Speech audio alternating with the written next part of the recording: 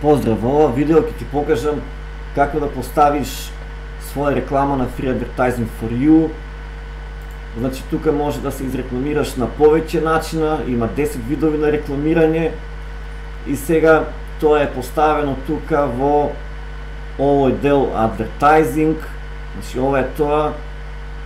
Можеш од повеќе места тука да отвориш и да поставиш реклама, значи јас ќе одбирам ова тука Ad Setup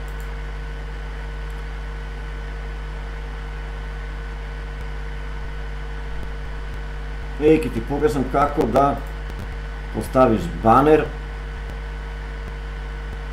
Сега јас тука имам навистина многу многу места за за рекламирање. Значи тоа така изгледа кај мене, кај тебе ќе биде многу попразно, поедноставно, затоа што ова се веќе поставени реклами мои. Океј? Но еве, значи сега, значи ова е тоа, и ако сакаш на пример да поставиш банер значи ова е тоа тука пишува банер ќе обираш еден линк да се отвори нова страна и значи ако имаш кредити доволно кредити тогаш можеш да поставиш своја реклама окей?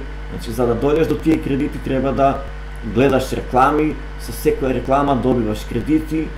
Кога ќе имаш доволно кредити можеш да си поставиш своја реклама. Значи ова е сайт за рекламирање и така функционира едноставно. Тоа е тоа.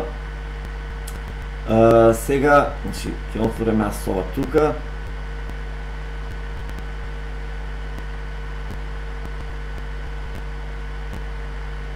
И сега, значи, ова е тука за банер дел и едноставно треба прво тука ќе му дадеш име како сакаш да гласи. Банер name, тука испод банер URL. Значи, ќе го копираш тој линк од тој банер, тука ќе го поставиш. Сега јас ќе поставам еден линк на брзина, затоа што претходно имам поставувано автоматски ми отвора. Значи, тука линк од банер, а таргет URL ќе ставиш линк од тој бизнес што го промовираш. Значи, реферал линк, нели? А, тука ќе поставиш реферал линк, target URL. А, сега јас спремив еден линк што сакам тоа да го да го промовирам.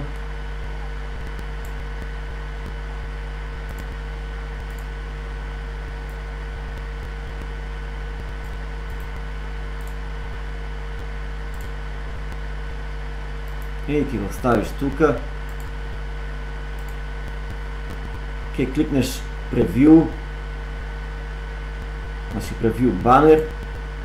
Ке се отвори ново тука поп-ап едно значи ако е се во ред ке го исклучиш тука на X и на крај кликаш save.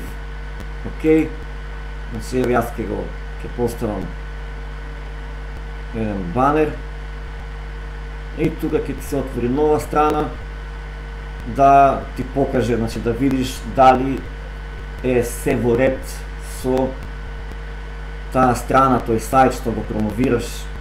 Значи, да, во ред е. Да одброи до крај и ќе ме врати назад фактички.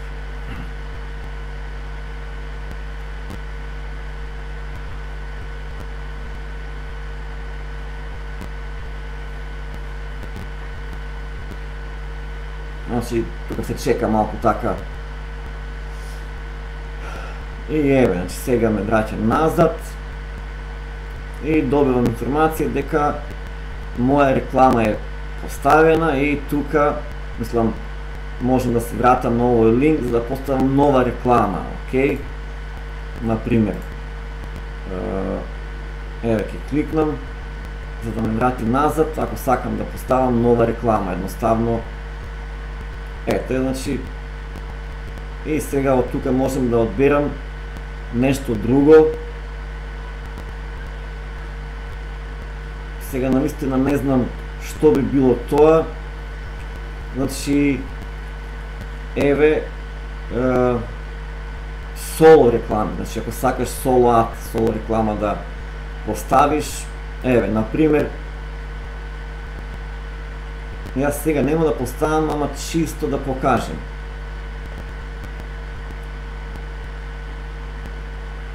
Е, сега, тука ти кажува е, да поставиш една реклама треба да имаш 10 долари, т.е. да ја купиш фактички со 10 долари, значи со кеш, или да имаш толку и толку е, кредити. Значи сега ако имаш кредити како што имам јас, кликаш тука на а, овој линк, ќе се отвори поле каде ще каде ќе поставиш нели наслов на тоа што рекламираш, некој краток текст, ќе поставиш значи тоа се тие нели текстуални реклами со текст и едноставно значи тоа е тоа, значи имаш поставено а, соло реклама, соло ад и ова тука испод е а, ако немаш кредити, значи можеш да порачаш преку Point Payments и Stripe, окей? И едноставно тоа е тоа. Е, што друго можам да покажам? Само малку.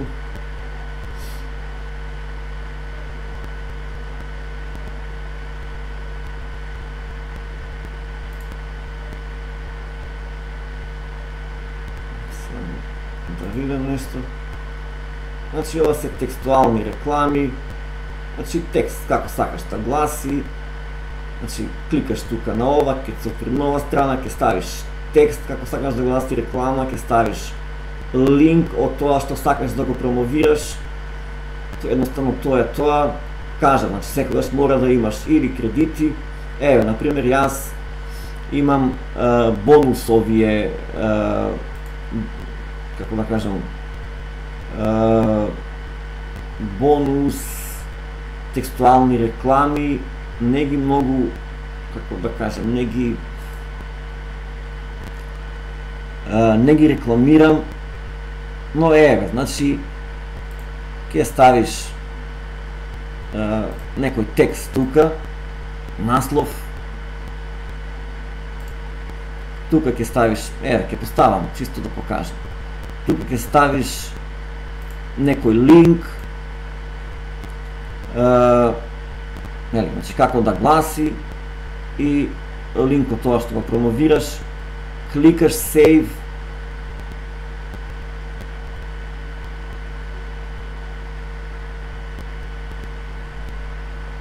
И еве, значи пак ќе ти се отвори е, тоа што го промовираш, ќе почекаш малку да одброи до крај,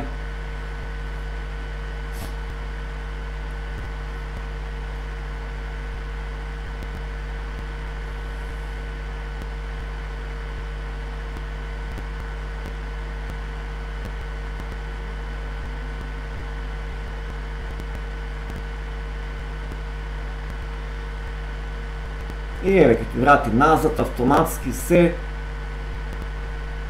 ти имаш поставено своја реклама, ако сакаш уште да поставиш реклами, кликаш на ова тука, ќе те врати на тоа исто место, нели? И сега да не губиме време, мислам дека е јасно е, како се тоа работи. Просто е, значи нема никаква филозофија. Така да, ете, значи тоа би било тоа во врска с како да поставиш реклама на Free Advertising for You. Океј, поздрав, ќе гледаме во